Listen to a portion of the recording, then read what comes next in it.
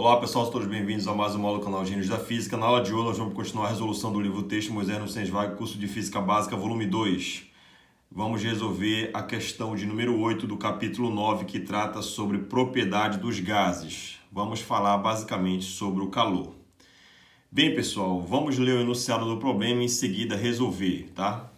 É, o problema 8 diz o seguinte, né?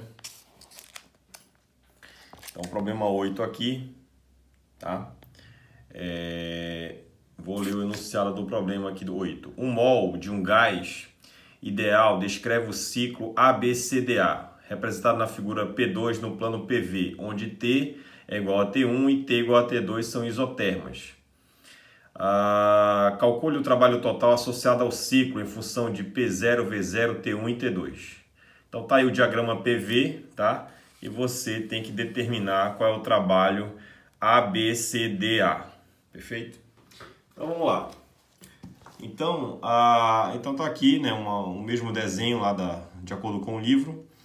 Você tem aqui um gráfico PV. Vamos analisar esse ciclo aqui, né, calcular o trabalho no ciclo fechado para um gás ideal e com o número de moles igual a 1. Tá? E aí, então vou calcular primeiramente, vou começar o que é o trabalho. Né? O trabalho, pessoal, AB, nesse trecho aqui, é uma integral de PDV. Aqui a pressão é constante, é um processo isobárico, pressão constante P0 e variou o volume de A para B. Né? Então P0 é uma constante, sai, fica uma integral de 1 dV, é, é, a, é a variação é VB menos VA, tá aqui ó. E aí lembra uma coisa interessante, né? Já que é um gás do tipo ideal, então ele satisfaz a equação dos gases ideais ou perfeitos, né? PV é NRT, onde N é igual a 1.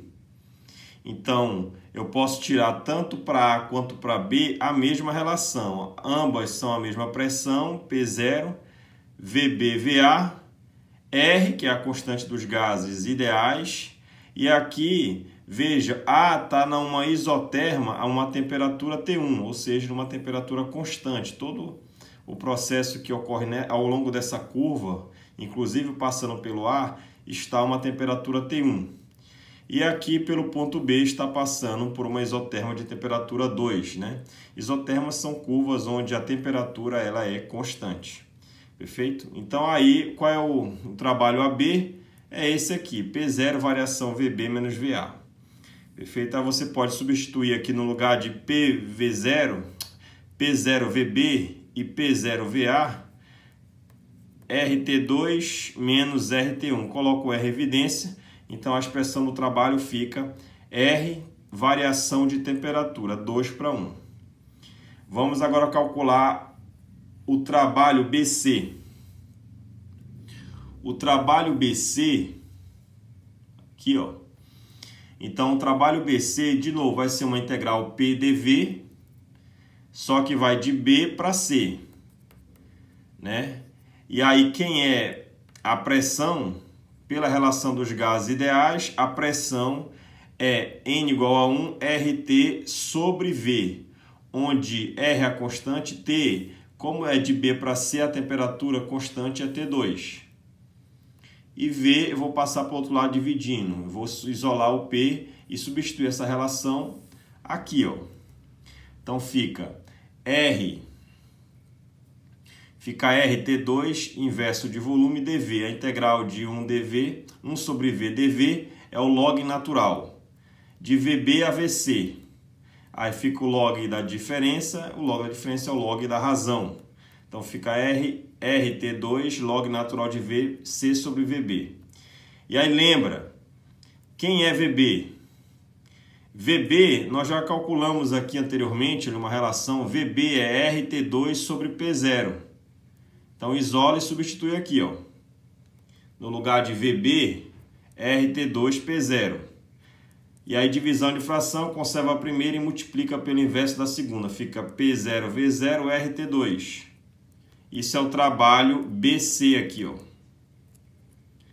Daqui para cá. O trabalho CD não ocorre variação de volume, né? Aqui o processo ele é isocórico ou isovolumétrico, né? Então, se não há variação de volume, o trabalho de C para D é nulo. Apesar né, de ter uma variação aqui de pressão, mas não tem variação de volume. Então, se não tem variação de volume, essa integral, o trabalho CD é zero joule, é nulo. E aí, por fim, vamos determinar qual é o trabalho DA. Então vai ser uma aqui você vai ter a mesma expressão do BC, né? Só que veja, de B para C ocorreu uma expansão de volume. O volume aumentou. Então o trabalho ele é positivo. Já de D para A, você tem, né, o sentido aqui, uma variação de volume negativa. O volume final é menor que o inicial.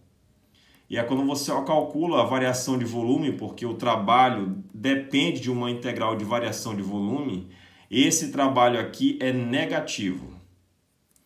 Então, o trabalho DA está aqui, ó, vai ser idêntico ao BC, exceto que em vez de estar a temperatura T2, a variação, né, desculpa, a temperatura constante da isoterma T2 vai ter uma isoterma T1. E o trabalho é negativo, então vai ficar R, T2 troca por T1, log natural, a variação de VD para VA, olha. Né? De VD para VA. E aí a, o log da, da diferença vai dar o log da razão, VA sobre VD. E aí lembra que eu posso inverter essa ordem aqui, ó. VD, a, a, o volume em D é o V0, dado no problema, então eu posso inverter aqui, ó. Se eu inverto a ordem, ganho um sinal de menos pela propriedade do log, né? Tá? E aí eu posso juntar esse menos com esse menos, né? Propriedade do log de novo, vai dar mais RT1 log natural de V0 sobre VA. E aí fica RT1 log natural. Quem é o VA? Aí o VA de novo é aqui, ó. É RT1 sobre P0. Substituo aqui, ó. Nessa expressão, e aí eu vou obter, vai ficar P0, V0, RT1, só que positivo. Então eu posso escrever esse trabalho desse jeito. Ou se preferir, eu deixo o sinal de menos aqui, ó, e calculo somente o log VA sobre VD. Então fica E menos RT1 log natural. Quem é VA? VA vai ser RT1 sobre P0. Tá? vezes aqui, ó, é, o VD é o próprio V0 e aqui fica P0, V0, RT1 negativo. E aí, qual é o trabalho total? É você somar o trabalho AB mais BC, CD e DA. Então, o trabalho AB é esse termo, o trabalho BC é esse termo, o trabalho CD é nulo e o trabalho DA, vou escrever com esse menos aqui. E aí você junta tudo, o trabalho total de todo o ciclo ABCDA é essa expressão. E está de acordo com o livro, com a resposta do Moisés. Tá certo? Um abraço, se inscreva no canal e muito obrigado. Espero que todos tenham entendido e seja de boa utilidade essa resolução. Até mais, pessoal. Um abraço.